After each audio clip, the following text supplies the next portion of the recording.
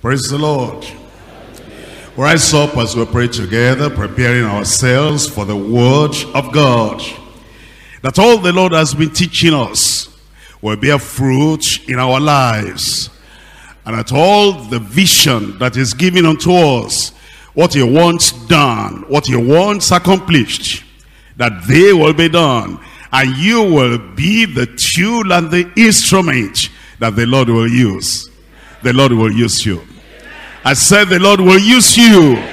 Open your mouth and talk to the Lord and say, Lord, whatever you still need to do in my life, Lord, do it. I'm wholly available. I want to serve the Lord. Wholly available. I'll serve the Lord. I'm going to bring everything I have all the training I've got, all the knowledge I have. I'm going to surrender, submit everything to the Lord to be used mightily of him. In Jesus' name we pray. And the good anointed people of God said, Heavenly Father, we thank you today and bless your name. We thank you, Lord, for the great things you are revealing to us. Lord, we pray we'll not be tired of hearing you in Jesus' name. And we will not be dull of hearing. We'll hear and do it. We'll hear and teach it. We'll hear and pass it on. And we'll hear and perform your will, your word in Jesus' name. Once again, Lord, open our eyes to see, our minds to understand, and give us the courage of conviction to get this work done. Well, thank you because we know you have answered. In Jesus' name we pray. Amen. I pray that God will affirm your amen. Good time, good people. God bless you. We're looking at Joshua chapter 1. Joshua chapter 1 we're looking at verse 3. Every place the sole of a foot shall tread upon, that have I given unto you, as I said unto Moses. Verse 5. There shall not any man be able to stand before thee all the days of thy life. As I was with Moses, so will I be with thee. I will not fail you, I will not forsake you. In verse 6, be strong and of a good courage. For unto this people shalt thou divide for an inheritance the land which I swear unto their fathers to give them. Verse 7, only be strong and very courageous that thou mayest observe to do according to all the law which Moses my servant commanded thee. Turn not from it to the right hand or to the left, that thou mayest prosper, you will prosper. Eh, whithersoever thou goest, this book of the law shall not depart out of thy mouth, but thou shalt meditate therein day and night, that thou mayest observe to do, according to all that is written therein, for then, only then, thou shalt make thy way prosperous. And then thou shalt have good success. Have not I commanded thee, be strong and of a good courage. Be not afraid, neither be thou dismayed. For the Lord thy God, tell me, is with you. Is with thee whithersoever thou goest. You need an amen there. We're talking about the courage of conviction. Uh, you know, there are people that seem to have courage, but I'm asking them, what's the purpose of your courage? What's the direction of your courage? What's going to be the result of your courage? You know, the people are strong as a lion, as bold as a lion, as courageous as a lion, but there's no vision. There's no conviction. And there is nothing, there's no project they want to get done. They are just bold, they are fearless, they are courageous. What I'm saying, to what are you putting the courage? And to what are you applying? The boldness and the fearlessness you have. If there is courage, if there is boldness, and if there's fearlessness, there must be something you want to do that you know, I'm going to get this done, come what may. When the Lord told Joshua and said, be of good courage, there was an assignment. And he's saying, as long as you are following through on that assignment, and you know that this is what you do, be of good courage. Be courageous, be fearless, and be bold. But if there is nothing to do, you don't need any courage. Who needs courage to go to bed and to sleep? Who needs courage to sit down only to eat and to eat? I don't think that needs courage. Who needs courage to be able to you know, just walk around and loaf around and roam about? That doesn't need courage. If there's going to be courage, it means there is something to do. And I have something to do. I said, I have something to do. And it is that the Lord has committed into your hand. It says, this is what to do. Walk through the land. Every place the sole of your foot shall tread upon, that I have given unto you. But, just understand, there will be people that will contest that which I've given you to do. There are people that will stand against that that I've assigned for you to do. It is because of those that will oppose those that will contest, those that will say, hey, what are you doing here? And Joshua is saying, the place belongs to me. Everything is mine. Every place the sole of your foot shall tread upon, in the name of Jesus, it shall be yours. Now think about that. You need to think about that. Every place the sole of your foot shall tread upon. If your foot or your feet, if they tread upon a square kilometer, that's all you have.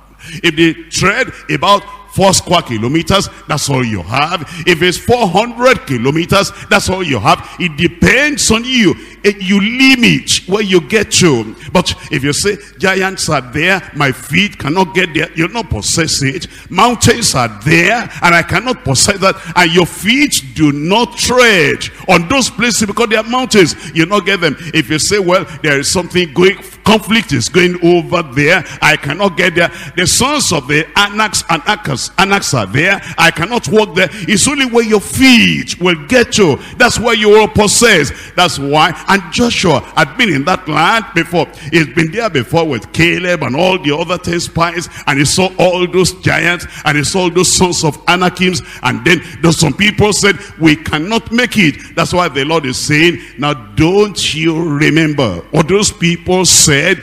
Look at your God. I will never leave you. I will never forsake you. And I'm sending you places. Don't look at their faces. Every place the sole of your foot shall tread upon. I have, tell me given unto you. And therefore, Joshua, you need courage. The same thing I come to tell you today. We're going to possess the land. You, you, if there's no assignment and no responsibility and no duty and there's no preaching and there's nothing we're doing, who needs courage to be a nobody? Who needs courage to be a failure, who needs courage to be a lazy man, who needs courage to be a non-achiever. If you're going to be an achiever, you need courage. That's what the Lord is telling us, say, go into all the world and preach the gospel to every creature. You go, you go, you go into all the world and preaching the gospel to every creature. That is what demands courage. And the Lord is going to give us that courage the life and the spirit and the mind and the strength of a conqueror. That's what the Lord is telling us. He says in verse 9, look at verse 9 again. He says, Have not I commanded thee? It's not this my commandment to you? Unto you be strong and of a good courage. Be not, tell me, be not afraid, neither be thou dismayed. For the Lord thy God is with thee whithersoever thou goest, he will be with you. Is he greater than the Canaanites? Of course. Is he greater than the Philistines? Of course. Is he greater than the Amalekites? Of course, the greater one. the mighty one, the high and the holy one, the Alpha and the Omega, the one that never lost any battle. He said, I will be with you. What have you got to fear when the creator of the heavens and the earth says, I will be with you. And he said, am I not the one that commanded you to go? And then underneath you are the everlasting arms, and I'm by your side every time, and I will be with you like I, I was with Moses. Don't you know then there is nothing on earth and nothing in the pit of hell to be afraid of? Go, and I'm going with you. That's why we need the courage of conviction. You have to have a conviction. Number one, the conviction that God is with me. He is on my right hand. He is on my left hand. He is in front of me. He is following after me. He is also overshadowing me. He is even supporting me with his mighty hand. It says that's the conviction I have. Because of that conviction I have, that is why there is courage.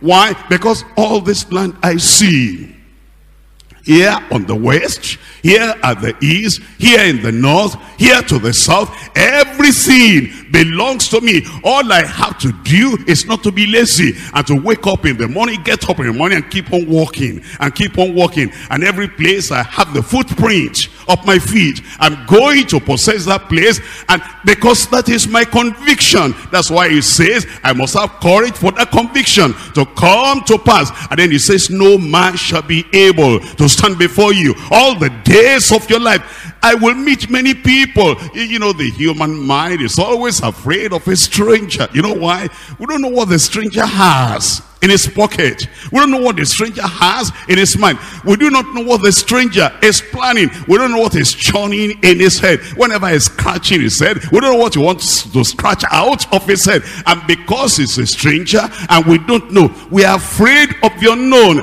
And then the Lord has said, no man, whatever is in their head, whatever is in their tummy, whatever is in their mind, whatever is in their pocket that they want to bring out on whatever charm they have and whatever talisman they have and he says no man shall be able to stand before you that is the conviction that a child of God has. And because of that because of that conviction that is why you have the courage. Not only that this promise is just not for you a Joshua. This one was given to Moses. Not only that it was given to Jacob. Not only that it was given to Isaac. Not only that it was given to Abraham. And this is what the Lord has promised Abraham his friend. And Abraham has done everything he ought to do. Abraham is a friend of God and he has gone to heaven. And God says, my covenant with Abraham, I will not break. I've given all this land to Abraham and you are here now so that you'll be able to take that possession on behalf of Abraham because of that conviction that God will not fail Abraham. Because of that conviction that this is an everlasting covenant, there is courage in your heart. That what the Lord has given you to do is a doable thing, is a possible thing, is going to be done.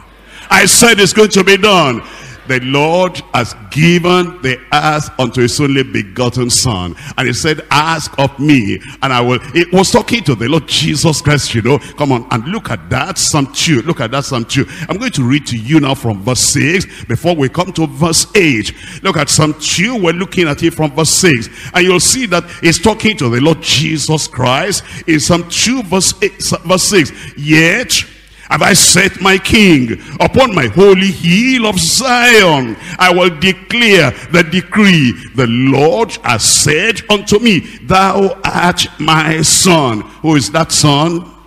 Give me his name. Shout out his name. He said, Thou art my son. This day have I begotten thee. Then he said to the son, Ask of me he said to the son, ask of me, and I shall give thee the heathen for thine inheritance, and the uttermost part of the earth for thy possession. This uttermost part of the earth, and all the heathen, he has told Jesus Christ, his only begotten son. He said, because you are my only begotten son, and I've set you up as a king upon my holy hill of Zion. Ask me, all the uttermost part of the earth I will give unto thee. And the Son had asked the Father, and the Father has given the uttermost part of the earth unto him because of that conviction that we have. That now everything belongs to Christ. Sit on my right hand until I make all your enemies what? Thy footstool. And that has happened because Jesus Christ is now gone on high. And because of the victory that he has already, that's why we know we have the conviction that this earth and all these people, they belong to the Lord Jesus Christ. And he has given us the commission now. And he said, go into all the world and preach the gospel to every creature. And he says, he that believeth and is baptized, tell me out loud, shall be saved. He that believeth not, tell me out loud, shall be damned. That's the reason why, because of that conviction we have, we have the courage. The courage of conviction. And the Lord is going to see us through, and it is going to be done in Jesus' name. I'm going to talk on three things. Number one, cultivating Bible-based convictions. Cultivating Bible-based convictions. You know, you have to develop conviction. There are people that are just wishy-washy uh, believers and wishy-washy Christians and wishy-washy ministers. They do not have any conviction because they do not know what the Bible requires and what the Bible has stipulated. Bible-based conviction, cultivating that. Cultivating Bible-based convictions. Number two, commitment to Bible-based convictions. Commitment. You cultivate it. You know that this is of God. And this is from scripture. It's not a hazy thing. It's not a human idea. It's not a human opinion. It's not philosophy of man. You know that this is coming out of the word of God. And heaven and earth shall pass away. But this my word shall never pass away. And forever, O Lord, this word is settled. And because, you know, it's a settled thing, it has a finality with it. It has an authority with it. It has the mark and the seal of heaven on it and it's a Bible-based conviction. That's why you cultivate it and that's why you commit your life and you commit yourself unto it. Commitment to Bible-based convictions. Number three, courage for Bible-based conviction. Courage for Bible-based conviction. We're looking at number one. Tell me out number one. Say it like you want to do it. Say it like it's part of you already cultivating Bible-based convictions. Bible-based. Hey, eh, let's look at it, what the Lord is telling us in Deuteronomy chapter 4. Deuteronomy chapter 4, I'm reading from verse 1. Deuteronomy chapter 4, we're looking at it from verse 1. It says, Now therefore, hearken, O Israel, unto the statutes and unto the judgments which I teach you, for to do them, that ye may live and go in and possess the land which the Lord thy God, the Lord God of thy of your fathers, giveth you. Ye shall not add unto the word which I command you, neither shall ye diminish aught from it, that ye may keep the commandments of the Lord your God, which I command you. Here is telling us that he gave them the word. Look at this. He gave them the land he gave them the word. Think about that. He gave them the land. He gave them the word. He gave them the inheritance and he gave them his word. And he said, there's one condition here. There's a connection. There is a link between the inheritance and the word.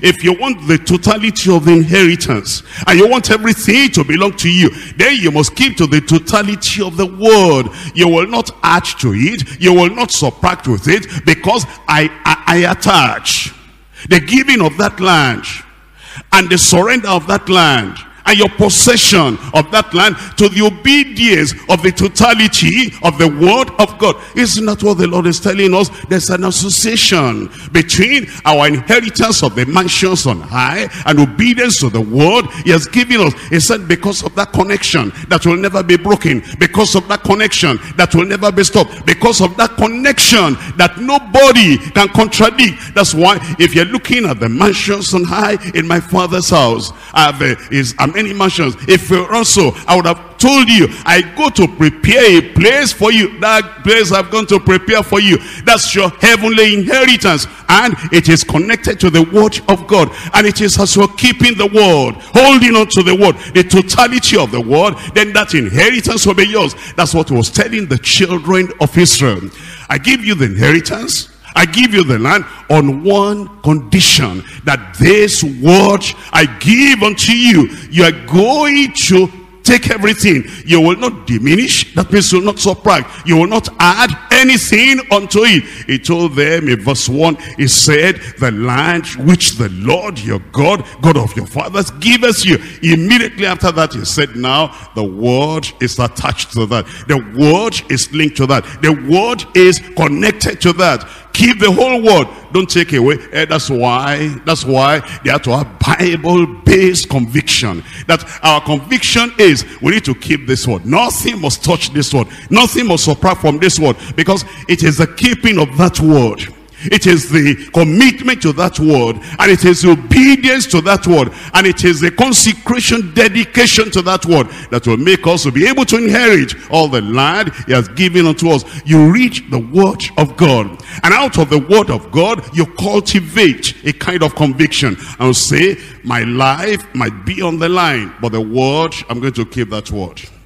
Dangers might be there. Troubles might be there. And persecutors might be there. The pain might be there. I might have to cross many roads, but all the same, I'm committed to the word because my conviction is that this word is the final thing. There's nothing higher, nothing above the word of God in this life, in your life or your family. You cultivate a Bible-based conviction. We're looking at chapter 12 chapter 12 of Deuteronomy verse 32. In verse 32, whatsoever I command you, observe to do it.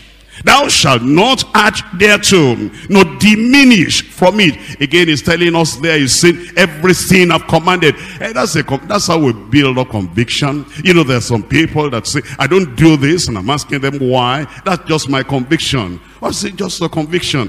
What's the ground of that conviction? What's the basis of that conviction? What is the reason for that conviction? How did you just, you know, plunge yourself into some captivity like that, into imprisonment like that? This is what I'm going to do. On what is, on what foundation is that conviction? Our conviction must be on the foundation of the word of God because of that Bible passage because of that instruction of the Lord and because of that commandment of the Lord Jesus Christ, my Lord and Savior, this is what I am committed to.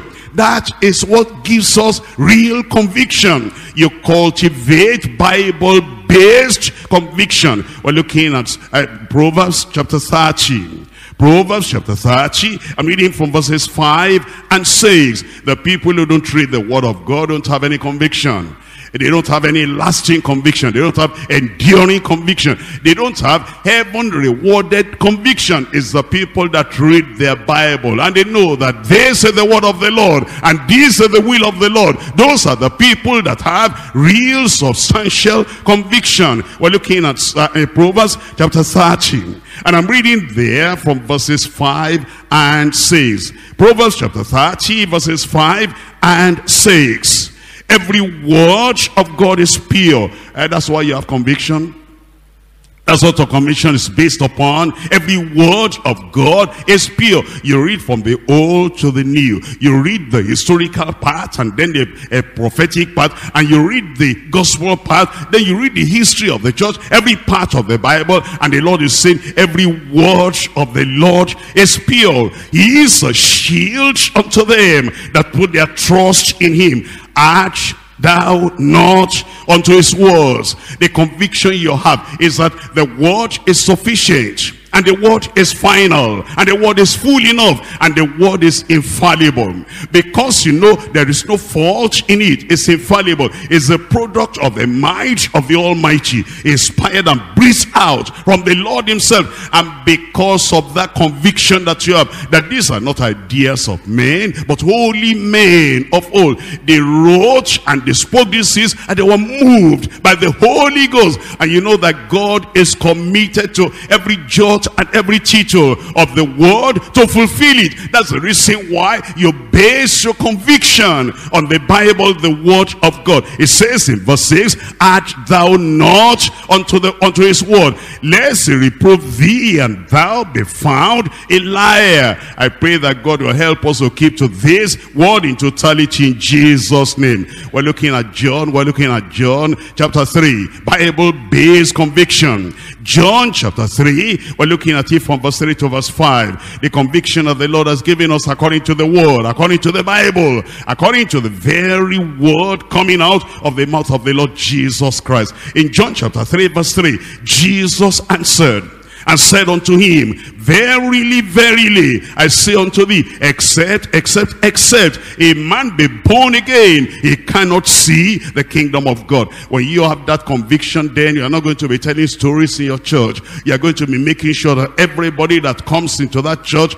they hear the word of salvation. Everybody coming to that church, they hear the word of repentance. Everyone coming to that church, eh, you're not interested just in their money. You're not interested in their position in life. You're not interested in authority in life. You're not interested of the, in the connections they have in life. The one thing you're interested, the first thing you're interested in, and the primary thing you are interested in is that he must be born again. You see, my friend, he must be born again. He is, you see, my neighbor, he must be born again. You see, a, a helper in my office, he must be born again. I see done some good to me and I really love him. He must be born again because the conviction the Lord has given us is that except a man, except a woman, except anybody living on this surface of the earth, except he's born again, he cannot see the kingdom of God. You see my son, you see my daughter, you see my father, is she my mother, and I love him or I love her, except he is born again. He cannot see the kingdom of God.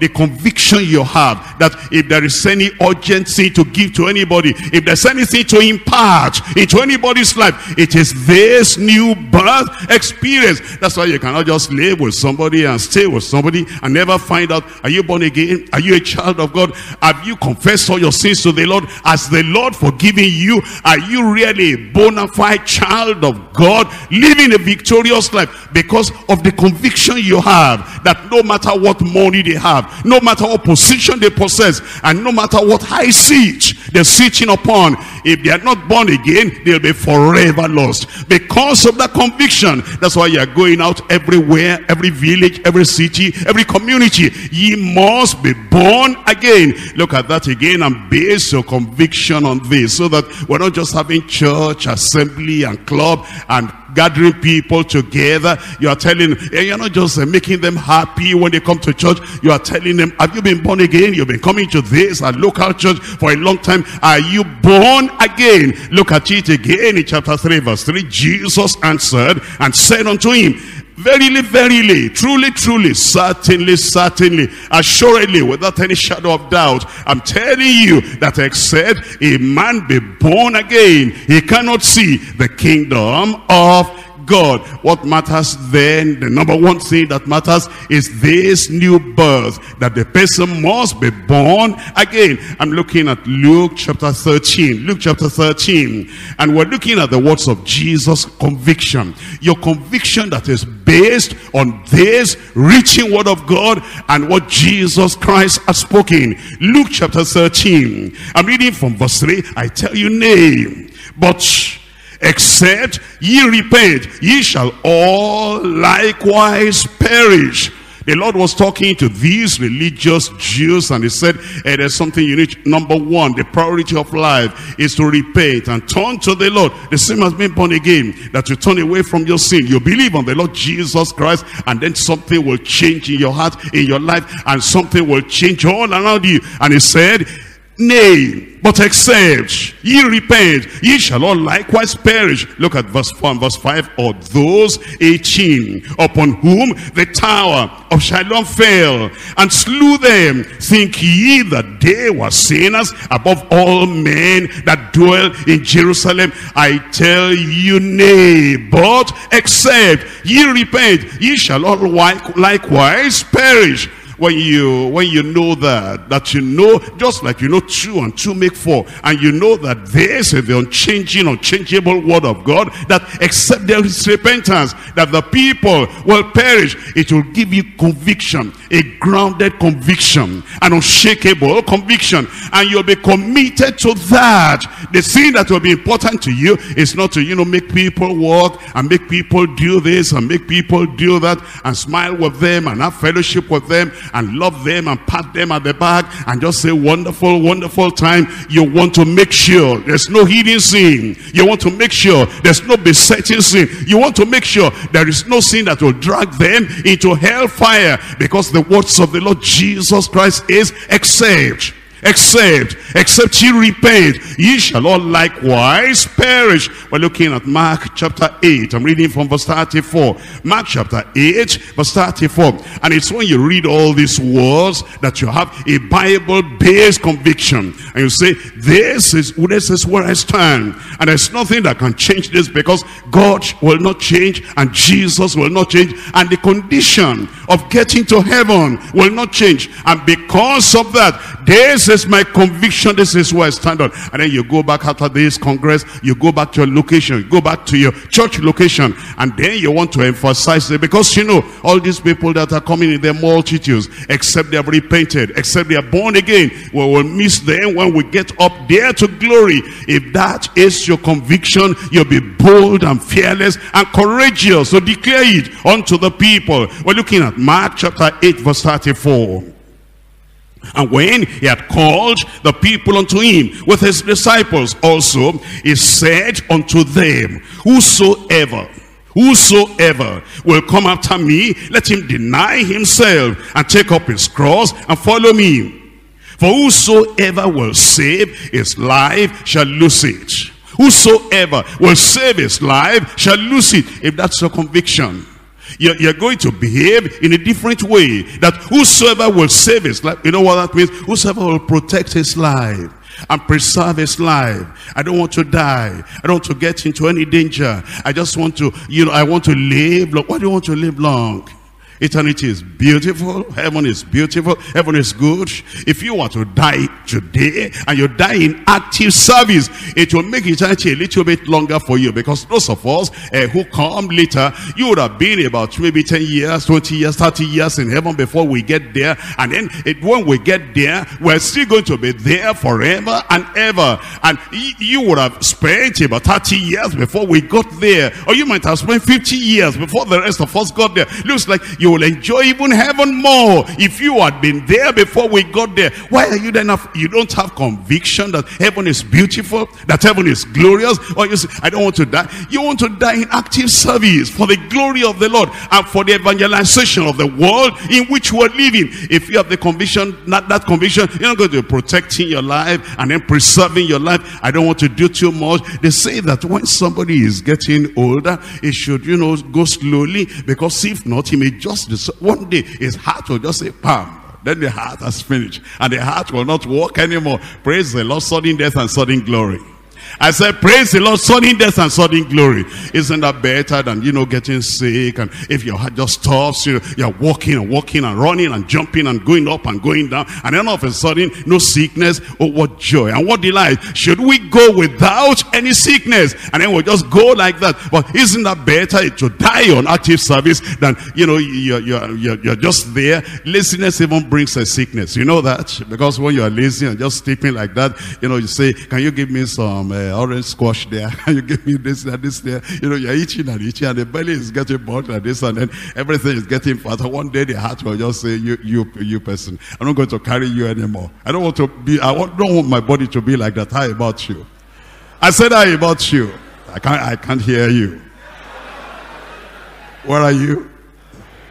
You will not die like that active service for the Lord in Jesus' name. Hey, look at that, look at that verse. It says, For whosoever, verse 35, will save his life, shall lose it. But whosoever shall lose his life for my sake and for the gospel's sake, the same shall save it. Give me a good amen.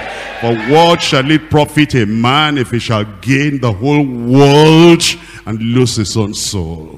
You understand that uh, God is saying, look up here for a moment. Uh, let's say this is a scale balance. And then you have a scale here and scale here. And the Lord is saying, put the whole world, all the money in the world, all the houses in the world, all the property in the world, all the certificates in the world, all the honor in the world. Put it on this scale and put your soul here. Your soul is still heavier and greater and higher and more precious than all the world. That's why he's saying, what shall it profit a man if he gains the whole world and lose his own soul? Or what shall a man give in exchange for his soul? Whosoever in verse 38 therefore shall be ashamed of me and of my words in this adulterous and sinful generation of him also shall the son of man be ashamed when he cometh into the in the glory of his father and with the holy angels the lord is coming i don't want him to meet me lazy and idle and indolent and not doing something you will do something for the lord.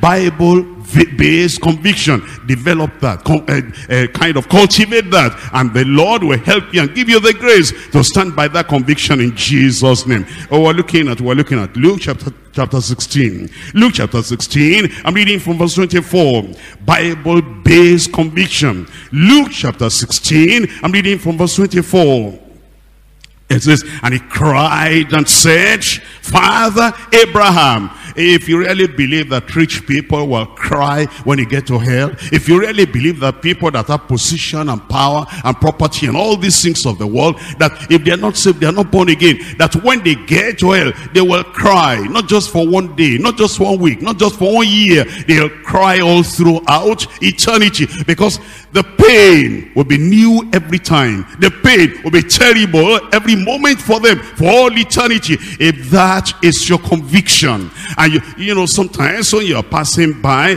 and you see an accident and somebody is groaning in pain, it grieves your heart. If that grieves your heart, that's a temporary thing. What if that is to continue?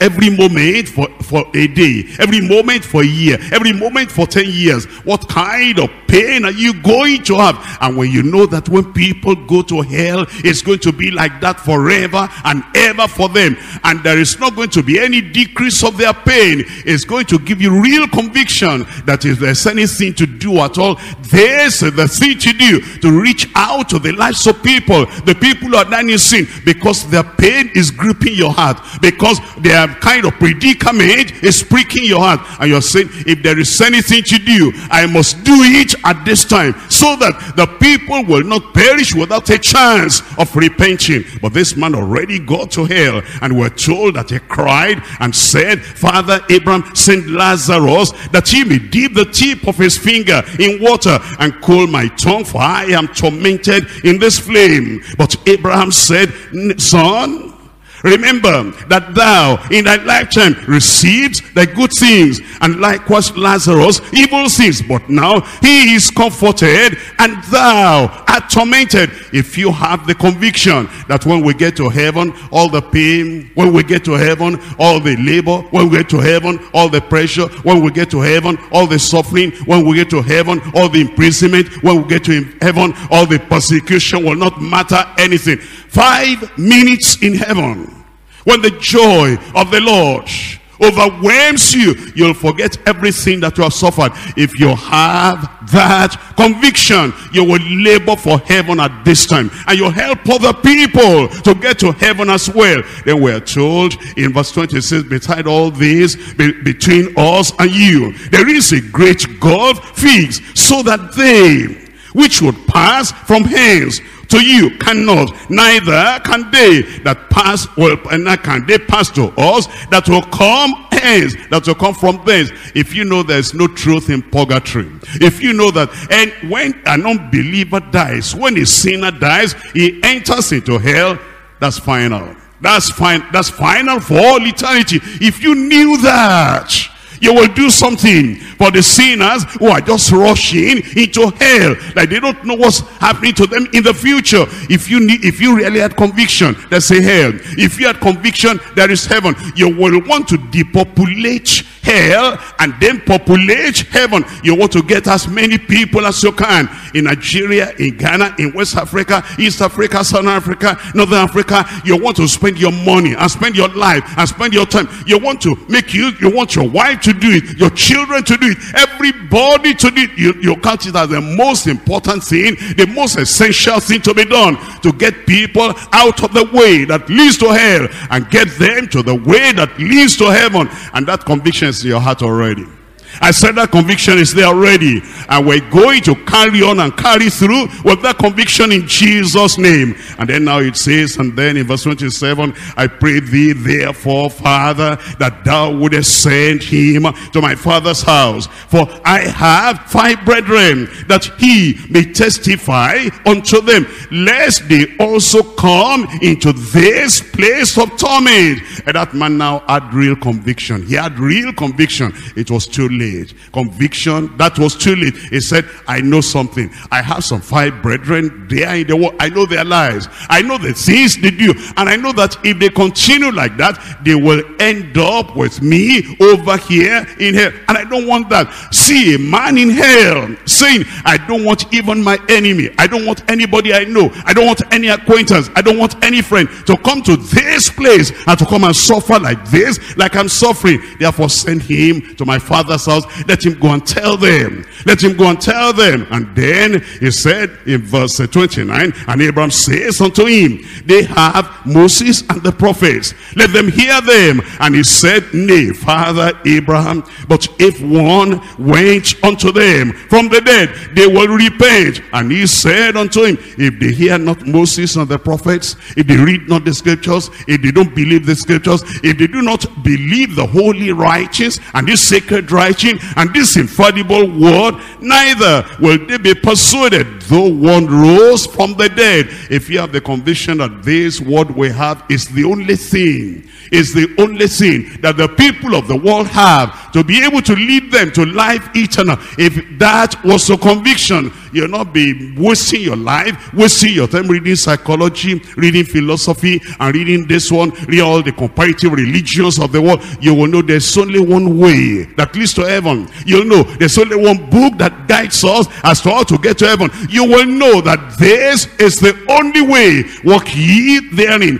And that's what the Lord is telling us that we develop this conviction, this conviction. And I pray that the Lord will help us to develop it and never lose it again in Jesus' name. Ezekiel chapter 3. Ezekiel chapter 3, I'm reading from verse 17. Cultivating Bible-based convictions. Ezekiel 3 verse 17, Son of man, I have made thee a watchman unto the house of Israel. Therefore hear the word at my mouth and give them warning from me. The Lord was telling be a man of conviction. I've given you the word. I've given you the authority. And I've given you the open door. I've given you a ministry unto the house of Israel. Hear the word at my mouth. Don't hear the word at the mouth of the false prophets of, you know, all these uh, religious uh, quacks that do not really have the mind of God or the word of God. Don't hear the word from theologians that have deviated. They say they're liberal theologians. But hear the word from the mouth of God. And you'll have it recorded in the Bible for you. Hear the word at my mouth. I give them warning for me. In verse 18, when I say, unto the wicked thou shalt surely die and thou givest him not warning nor speaketh to warn the wicked from his wicked way to save his life that same wicked man shall what tell me out loud shall die. In his iniquity, but his blood will I require at then if you knew, if you had conviction that if you are careless, if you are carefree, if you are lukewarm, if you shut your mouth, if you don't tell the good news of salvation unto the people around you, if you knew with conviction that God will require their blood at your hand. You will do something differently. You'll rise up immediately. You will tell them. You will talk to them. And then it says in verse, it says in verse uh, 19, it says, yet if thou want the wicked, and he turn not from his wickedness, not from his wicked way, he shall die in his iniquity, but thou hast delivered the soul. Verse 20 again, when a righteous man does turn from his righteousness and commit iniquity, and I lay a stumbling block before him, he shall die, but because thou hast not given him warning, he shall die in his sin, but his righteousness, which he has done, shall not be remembered. His blood, but his blood, tell me the rest will I require at thine hand? Look up, brothers and sisters, you know, there are some, they call them pastors. I don't know what God calls them. They call them preachers. I don't know what God calls them. They call them leaders. I don't know what God calls them. They're so gentle and they're so nice.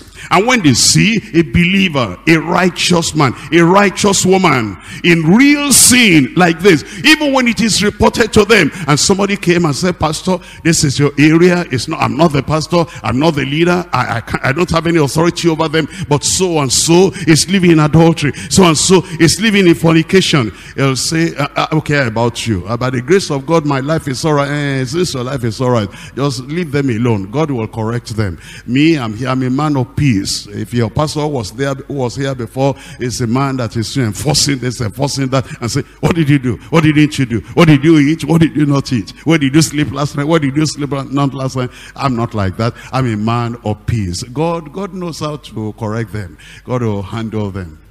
If those people die in that adultery, in that funny, and you knew, and you couldn't say anything, you couldn't help them. You couldn't tell them the soul that sinners, tell me he shall die. You couldn't open your mouth. All you wanted is fellowship and friendship. You wanted the people to be nice to you and to love you and to say, he's a nice man. He's a loving pastor. He's a loving personality. He doesn't cause trouble for anybody. He makes everybody to save their face. He makes everyone to feel at peace. The Lord says he will require the blood of those backsliders in your hand. If you are a Bible conviction, your life will change. Your leadership style will change. It is because of that lack of conviction. That's why many people, they see something wrong, they cannot correct. They see something that is going the wrong direction, they cannot talk. Or maybe you were talking before, but they gave you a bad name. They gave you a bad name. It's, uh, it's coming, it's coming. It's trying to please uh, the Jews. It's, uh, it's, it's the, uh, they call them a special, it's, the one that is good tale bearer. But they don't use tale bearer. They use another kind of local language. And we know him is the one going to report now. Go, God, what we know you have seen us. We know you know what we're doing. And we know, we know you will go and tell him. Go and tell him. And then you become afraid. They are weakened. Their hands are hanging down. They drop their head. Me, well, why do you say I'm going to tell him? Is that my responsibility? I am not like that. You are like that. You're a good man. A good man that doesn't want backsliders to perish, but now you want them to perish. You say, I don't want a bad name. You have a good name here, but you are going to perish. You have a good name here, but when the trumpet shall sound, and the Lord is saying, the people that know the people that are doing evil, and you will never open your mouth, and they die in their sin. And you know they are the, they are the Achans. You know the Achans. You know where they're keeping the wedge of gold. And you know where they're keeping all those instruments of sin. And you never open your mouth to say anything. Yes, they will die. Achan will die in the sin if he does not repent. But God will require their blood out of your hand. I pray God will deliver us. You know, this kind of cowardice. Coming to people. No boldness, no conviction. And no courage fearlessness to be able to call a spade a spade and if they're talking to us at all they'll be talking in a parable they'll be talking with illustration they'll be saying you know pastor I just want to tell you that I think you need to pray more because it's not everybody that is uh, all right. There are some people there, they are living, I don't want to mention any name, but there are some people there, come on, don't talk to me like that. Am I going to find out? I'm going to go one by one. Uh, are you the one they're talking about? Tell me. I said, are you? Are you? Then I go on, I go on one by one. I've been wasting my time. Why don't you know them? Why don't you tell me? If you cannot handle why don't you say, that's the man, that's the woman. And then I will call them. I will say, so and so told me that you are doing this and you are doing that. And then they'll come to you and say, were you the one that said it? Then you say, yes, I am. then you're a real child of God. I said you're a real child of God. The courage of Bible-based conviction. I pray God will bring us back to that in Jesus' name.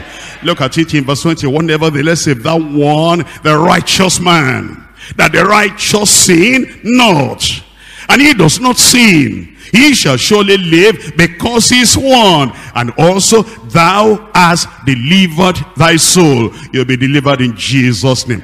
After having that Bible-based conviction, what next do the point number two now? Commitment to Bible-based convictions. Commitment to Bible-based convictions. We're looking at second Corinthians chapter 5, 2 Corinthians chapter 5. I'm reading from verses 10 and 11. Commitment to Bible-based conviction. Look at your convictions again and dig it up again and bring it near to you again and look at that conviction says, this is the way I was and this is who I'm going to remain. This Bible will be my standard and anything different I have nothing to do with any wishy-washy kind of worship or any wishy-washy kind of commitment. My commitment will be to Bible-based conviction. We're looking at Second Corinthians chapter 5 verses 10 and 11. For we must all appear before the judgment seat of Christ that everyone may receive the things done in his body according to that he has done, whether it be good or bad. Knowing therefore the terror of the Lord will persuade men. Knowing therefore the judgment and the terror and knowing the wrath of God that will come upon sinners and the unbelievers because of that we persuade men. Those are people that have commitment to the uh, to the conviction bible-based convictions that they have. We're looking at acts of the apostles chapter 5 acts of the apostles chapter 5 i'm reading from verse 29 and when they had brought them they searched them before the council and the high priest and asked them, saying, Did not we strictly command you that ye should not teach in this name? And behold, ye have filled Jerusalem with your doctrine, and intend to bring this man's blood upon us. That's what they call a challenge. They brought the apostles together and they challenged them. Before I go on, let me explain to you. You know, these people that challenged them, and this people that said, didn't we tell you? Didn't we straightly command you? You shouldn't talk to anybody about this man and not only that even if we are saying good good things that he healed the sick he made the lame to walk eh, that will even we don't even want that but you even went beyond that and you're making us now guilty and you bring this man's blood upon us of course you are the one that said Crucify him and let his blood be upon us. You said so now. And that's exactly what we're telling the people. That the, your leaders, the crucified Christ, the Prince of Life. Why are you afraid of the consequence of what you have done? But now they said, don't say that again. Now these people that threatened them, they had authority and they had the power. If they wanted to, they could kill these people. They could really look at verse 33. When they had that, they were caught to the heart and took counsel to do what? Tell me out loud. What does that mean to slay them? To kill them. Now look up here. Anybody that challenges today, let's say for example in the church, here we are in the church, or a pastor in the church, and there are members in the church that they don't appreciate what you're saying, the way you preach, the doctrine you lay down, the things you emphasize, and your leadership style, because of your conviction in the Bible, they don't like what you say. They cannot kill you. They cannot slay you.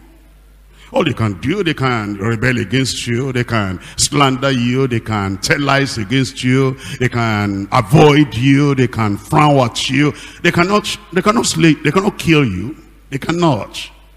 And even these people that knew that the council had the power, the authority, and if they were angry enough, they could kill them all the same.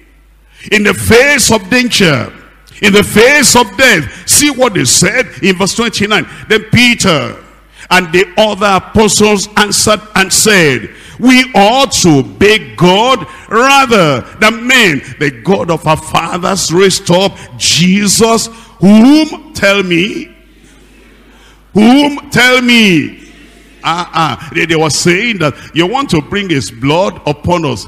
Now, if somebody told you that is what we said, we're telling you again, ye slew and hanged on a tree. You did it, don't, didn't you? You see, they, they laid it on them. They were not afraid to repeat what they had preached before in their absence. And that's what the Lord is telling you. That the commitment you have, the consecration you have, that you lay your life on the line, that this is thus says the Lord, and this is the word of the Lord. And because this is the word of the Lord, we don't care what the enemies will do, and what the slanderers will say, or what anybody will do. They still told the people. And then look at it, this is beautiful. This is beautiful. In verse 31, him as God exalted with his right hand to be a prince and a savior and to give repentance to who? To Israel and the forgiveness of sin. And we are his witnesses of these things. And so is all also the Holy Ghost whom God has given to them that obey him. They said, we're bold enough to tell you. We're courageous enough to tell you that this is the word of the Lord. Those are people that have conviction. That in the face of danger, in the face of difficulty, in the face of all the challenges, in the face of even possible death, they were still willing to affirm the word of the Lord. And the Lord is bringing us to that point. I said the Lord is bringing us to that point Uh, by the grace of God, in the strength of the Lord, in the boldness and the courage of the Spirit of the Lord, we're going to be able to declare the word of God without fear, without favor, in Jesus' name. Matthew chapter 10, I'm reading from verse 37. Matthew chapter 10, we're looking at verse 37. Matthew chapter 10, verse 37. Here's what he says, He that loveth father or mother more than me is not worthy of me. The Lord is telling us that maybe your mother will say, My son, I'm hearing that you know you are such a forceful speaker and you're such a forceful uh, preacher that the people in our town, they are saying this is what they're going to do. You must love God and love Jesus and love the message of salvation and the souls of the people you're reaching out to, you love them more than your life, more than your mother, than your father, more than your wife, more than your husband, more than your children, more than anybody. He that loveth father or mother more than me is not worthy of me. He that loveth son or daughter more than me is not worthy of me. You know, there are some sons, they are getting older now, they're getting of age now, and they understand the commitment, but they don't want their father to be committed that way. They understand commitment, they don't want their mother to be committed that way. And they said, mommy, don't, don't go too far. Serve God and go to the life, that's okay. And be a woman coordinator and be a woman leader and be this and be that. But don't go too far. So that we can still have the liberty to do what we want to do. And so we can do this and do this. If you are trying to go too far, we know how to stop you. We're going to do this and do that. And then we'll instigate some people to go and report you that your children have done this. And then they will stop you. And because of that, you obey your children more than you obey the word of the Lord and the conviction that is based on the word of God. And the Lord is saying, if you love your children, your son or your daughter, your wife or your husband, your relatives, more than me, you are not worthy of him. He says in verse 38, he that taketh not his cross and followeth after me is not worthy of me. He that findeth his life shall lose it. And he that loseth his life for my sake shall find it. I pray you'll find it. We're looking at Luke chapter 14. Luke chapter 14. Commitment Commitment to Bible-based conviction. Conviction that is based on the word of God. We're not talking of hasty kind of conviction. Uh, you know, we're not talking of people that say some foolish things. They're going to do this. They're not going to do this. And not based on the word of God. We're talking about people that know about salvation. People that know about the importance and the essence of evangelism. People that know about the indispensability of holiness. Follow peace with all men. And holiness without which no man shall see the Lord. And you're to that. Commitment to Bible-based conviction. Luke chapter 14. And I'm reading there from verse 26. If any man come to me and hate not father or mother and wife and children and brethren and sisters. Yea and his own life also. He cannot be my disciple. When your life is based on that and you have conviction on the basis of that and you have a kind of commitment that you know some people they might be shedding tears and crying ah my husband are you going to do like this? Are you going to be committed like this? Are you going to do this or that? And then you still you know it's okay uh, my dear darling because of you and because I will lessen my commitment, I'll lessen my devotion, I'll lessen my sacrifice, I'll lessen this or that. And the Lord is saying, if you put your wife above him, if you put your husband above him, if you put your children above him, if you put yourself above the Lord, he says you are not worthy of me. You are not worthy of me means you are not worthy of heaven. You cannot live with me here. You cannot live with me in heaven. Verse 26 again, if any man, any man, any man, you know some of these people that uh, they think they outgrow the word of God. They think they outgrow the commitment and conviction to the word of God. Any man, a bishop, an overseer, a pastor, a leader, any man, a woman, a man, if anyone, a long-standing Christian or just a new believer, if any man come to me and hate not his father and mother and wife and children and brethren and sisters, yea, and his own life also. He cannot be my disciple. I will be his disciple. I said I will be his disciple. You'll be his disciple in Jesus' name. But you know what makes us, you know what makes us to a kind of chicken out and we make ourselves cheap? That we cannot obey the word of God anymore is because either because we're too we're too self-conscious too self-conscious. I don't want, you know, people to hate me or push me aside or to be talking about me or to feel this about. Forget yourself. I don't do whatever you're doing because you want a good name.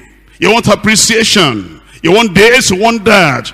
Lay your life on the line and said, this is what to do. I read it in the Bible. And because I read it in the Bible, that is where I stand. Anytime you are praying, you want to take a decision, make a consecration. You're not thinking of, what will daddy say about this? What will mommy say about this? Now, what will my wife say about this? I think my wife may not appreciate if I go this far. I think my husband may not appreciate if I go this far. I, I, I don't think that, you know, this will even be inconvenient for me. I think I'm, it's going to be inconvenient for me if I just, you know, put myself under the yoke. I will evangelize. I will plant churches. I'll go to all those new territories. I'll do this. I think I need to be very careful now because I, I need some rest. I need this. I need that. When you're considering yourself like that, before you can make a commitment, consecration to the Lord, you are think, you're putting yourself above the commission that the Lord has given us. That's why it says in verse 27, and whosoever does not bear his cross and come after me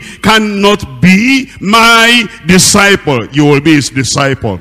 I said you will be his disciple and you will continue following after persecution will come. You'll continue following after the Lord in Jesus' name. Second Timothy, Second Timothy chapter 3. I'm reading there from verse 12. Second Timothy chapter 3, we're looking at verse 12. It says, Yea, and all that will live godly in Christ Jesus shall do what?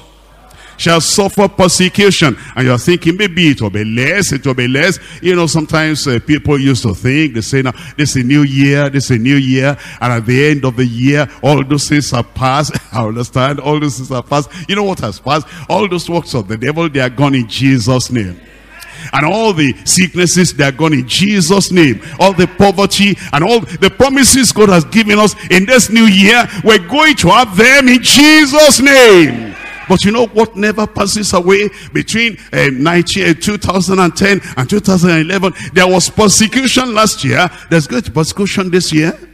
I said there's going to be persecution this year. Ah, you are God. Give me a good amen. Persecution doesn't stop. Old year gone. New year has come The new year doesn't mean that this year there's no persecution. Everybody will just you know, be lying flat before me this year. And those who persecuted me last year, they'll not, because there's a new year. The new year has canceled persecution. That's a lie. Don't deceive yourself. Look at the next verse there. It says, But evil men and seducers shall do what? Shall wax worse and worse, deceiving and being deceived. As one year passes, another year comes, those persecutors, they might even change their methods, but the persecutors are still there. But then it says in verse 14, but continue thou in the things which thou hast learned and hast been assured of, knowing of whom thou hast learned them, I will continue. I said I will continue. If the persecutors double their efforts, I double my strength. I double my courage. I double my, I double my fearlessness as they increase in evil and increase in goodness. I said you'll increase in goodness. Eh, you know, if the persecutors double their efforts and you stay at the same level of courage of last year, they are double. You are single. Your courage of last year will not match, will not match the doubled effort of the persecutors of this year. So, as evil men and seducers and persecutors are waxing worse and worse, you, in the strength of the Lord, in the power of the Lord. If you're going to match them that are getting worse and worse, what are you going to do? Better and better, higher and higher, stronger and stronger, greater and greater. It has happened to you. In fact, you know what I'm going to tell you? If you really want to outshine them, when they double, you triple.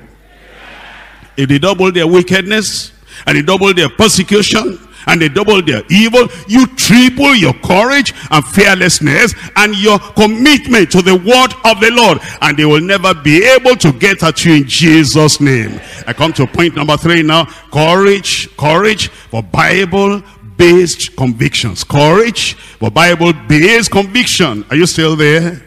I said, are you still there? We're looking at Deuteronomy chapter 31. Deuteronomy chapter 31. I'm reading there from verse 6. Deuteronomy chapter 31. And we're looking at it from verse 6. From verse 6, here is what it says. Look at it now in verse 6. And it says, be strong and of a good courage. Who is the Lord talking to here? I said, who is the Lord talking to here? He's talking to me. I said he's talking to me. Uh, you, you, know, if you go from place to place, there's a kind of courage you need in Nigeria. And when you go to East Africa, there's another kind of courage that you need. When you go to South Africa, yeah, there's another kind of courage you need. And then when you leave Africa and then you go to Asia, another kind of courage you need. And it's saying Asian courage, American courage, European courage, South African courage, East African courage. God will pack everything together and put it on you in Jesus' name. You know, the courage that anywhere you are, the courage, the people you have not seen, and people you have not known. And the Lord is saying, I'm sending you there, I'm sending you there, I'm sending you there. And whoever you may meet, and whoever may come across your way, the appropriate courage for the appropriate people, the Lord will give to you in Jesus' name. And you know, sometimes, even when you go to the village, those of us in the city, the kind of courage we need in the city is very much different from the kind of courage you need when you go to the village. In the village where they say you, you cannot do this, you cannot do that. You know, look at our city at Lagos here. As you look at Lagos, you go from that place, I don't want to mention, you know. So if I mention those places, you'll not know them. You go from days to days to days, no tree there, nothing there. And then you just say, all the courage you need is just to be able to to face that man at the bus stop. Do you know Jesus Christ? Simple courage, elementary courage. Everybody say elementary courage. But you know, we wanted to have a crusade or something in a, uh, one of the cities I don't want to mention. And there was a tree there. And that tree, they said, the tree had been there for 400 years. And that anybody because we need to clear that ground, clear everywhere, and cut down that thing so that we can have a good view and have a large crowd over there. And then they said, anybody that cuts down that tree, the person, before seven days, ought to happen. Tell me. Looks like you are coming from that area. They said the person will die. And then our state overseer there at that time, he called the members of the church. You need courage in that place. I said you need courage in that place. Not you know the courage over here, the courage you need here when you are going out there and somebody say, where are you going? You know, I must be courageous now to tell him how to go and drink water. And they, go and go and come back in time. But thank God I was courageous. If I would if I wasn't courageous, it would have sent me back. I'm going the pastor said, have courage, I'm going to have courage. you know, elementary courage. Everybody say elementary courage. But you know, over there, our state overseer at that time, he did a Jericho man, called all those people together, and they went around, went around. And I'm telling you, the people that tried that before, that did anything that the villagers said, if you cut down this thing, you die. They died. But then they marched around and then they got people with axe and they cut the then they cut the tree and then uprooted everything, leveled every. By the time I got to that place, the whole place was leveled. I saw a sea of hairs like this and I began to preach and I told you I preached. I said I preached. And then there was one woman. That woman came from a nearby village, hands paralyzed, legs paralyzed, and couldn't, uh, you know, do anything at all. They picked her up and put her into a lorry. And then in that crusade, blind eyes opened, goiters vanished away, uh, you know, big bellies, everything came down. And that woman was not healed at the, at the crusade ground for a purpose. God had a purpose. The villagers were wanted to plant deeper life church in that place. They said, never. Never. Other churches can come, but you people that go against idolatry, you'll never have your church in this village. And that woman came from that village. And then when they were coming down from Lilori, everybody went down. This one went down, remained herself alone. And she was crying. I'm a terrible sinner. And I've repented. I've called upon the Lord. He didn't heal me. And then what, what they wanted to carry her like this, the Holy Ghost came upon her. Hands all right. Legs all right and she jumped down from the bus, from the lorry. All the villagers came around. All the farmers, idol worshippers in that place, they declared two days public holiday for celebration to celebrate the power of the Lord. What I'm saying is, it was the courage, the courage, the courage of those believers in that place that then the villagers invited or said, now deeper life, you are the only church we're wanting. Come and put your church here. That's the courage we need. And by the grace of God this afternoon, I pass that courage unto you.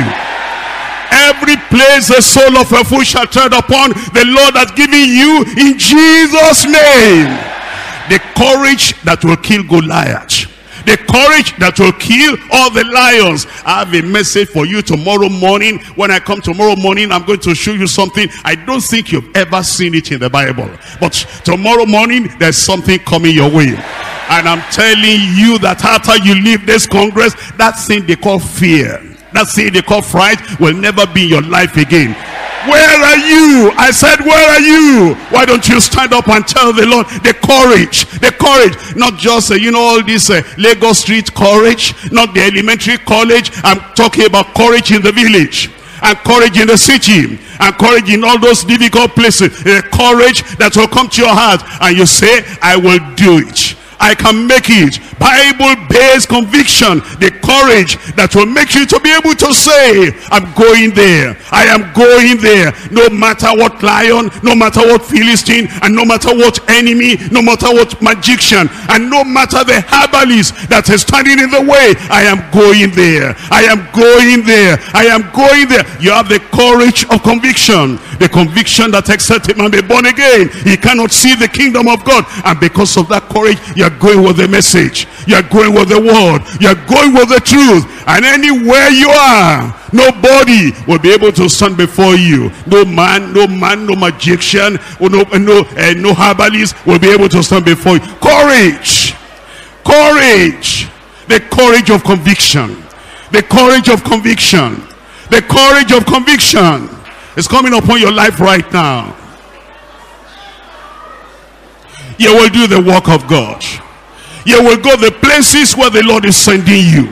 Because he's giving you that courage now. The courage of conviction. Have not I commanded you be strong and of a good courage. There's a kind of courage we need in the village. There's a kind of courage we need in the north. There's a kind of courage we need in the south. There's a kind of courage we need in the city.